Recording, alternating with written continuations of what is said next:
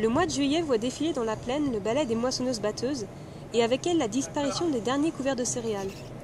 Lièvres et perdrix grises se retrouvent alors dans un milieu dépourvu d'abri et pauvre en nourriture. D'autant plus hostile que les déchômeurs retournent les derniers chaumes. C'est pour apporter une solution à la survie estivale de la petite faune de plaine que les partenaires du programme Agrifaune ont eu l'idée de créer la marque Agrifaune Interculture. Elle regroupe toute une gamme de mélanges conçus pour leurs intérêts agronomiques, tout en offrant gîtes et couverts à la faune sauvage.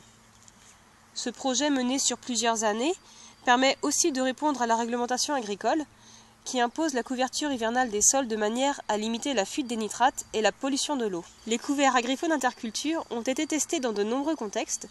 Composés en moyenne de trois espèces, ils sont capables de répondre à plusieurs objectifs. Donc là, on est en présence d'un mélange moutarde avoine facili, donc trois espèces de familles différentes. L'intérêt, c'est que la moutarde est à assez faible densité, ce qui est plutôt intéressant pour le gibier qui va pouvoir évoluer assez facilement dans le mélange.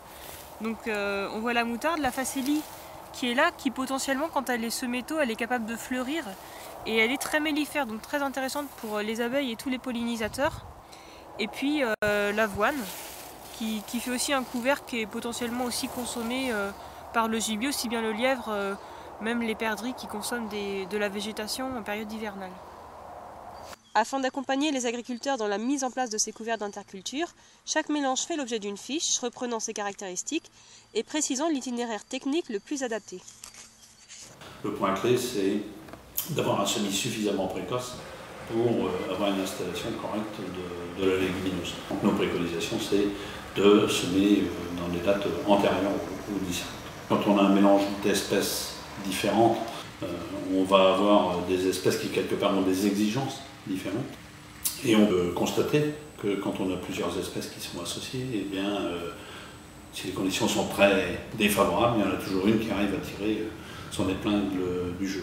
Deuxième côté, c'est que les associations, les mélanges agricoles sont des mélanges qui associent des espèces à racines pivotantes, d'autres à racines fasciculées, donc quelque part en termes de travail du sol, structuration du sol, une certaine complémentarité.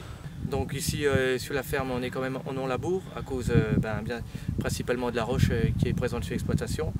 Donc si les plantes peuvent travailler pour nous sans être obligées de passer un, la charrue, c'est un, atout économique et structurel. On peut dire aussi que bah, ces couverts et ces différentes espèces ont des besoins en éléments fertilisants qui sont différents et que notre couvert va avoir une action qui ne sera pas limitée à l'azote, mais bien évidemment il va y avoir une absorption d'éléments fertilisants directement disponibles. Et on peut dire que c'est le premier engrais qui sera apporté à la culture qui va suivre. L'objectif, c'est de laisser déployer tant, que faire se peut le, couvert végétal pour assurer à la fois un, couvert pour le petit gibier, parce que c'est quand même un objectif aussi qui est, important, c'est ce qu'on recherche, et aussi euh, permettre aux, espèces associées, notamment aux légumineuses, euh, de faire leur travail et, de fixer l'azote de l'air, pour l'intérêt de l'agriculture.